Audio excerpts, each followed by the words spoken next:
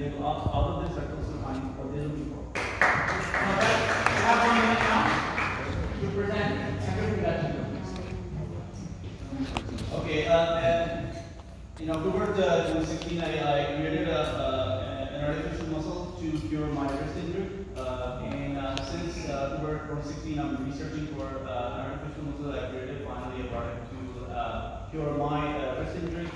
And uh, that was uh, um, that product actually I researched over three years and uh, uh, multiple people and finally uh, being really happy to announce that I'm going to um, uh, release this one uh, in a couple of months for the public to uh, have this one. Uh, number one benefit is a new technology, it's a new science, uh, and I'm working with a physicist from all the way from Hawaii. Uh, he's a Nobel uh, Prize candidate and also the golf researcher. Um, and there's a lady from the golf researcher, her name is uh, Fateh Bakr. Uh, she went out. I will, I will speak to you later why you work on Muhammad. Uh, Muhammad Ali. So if you want to connect with him afterwards, please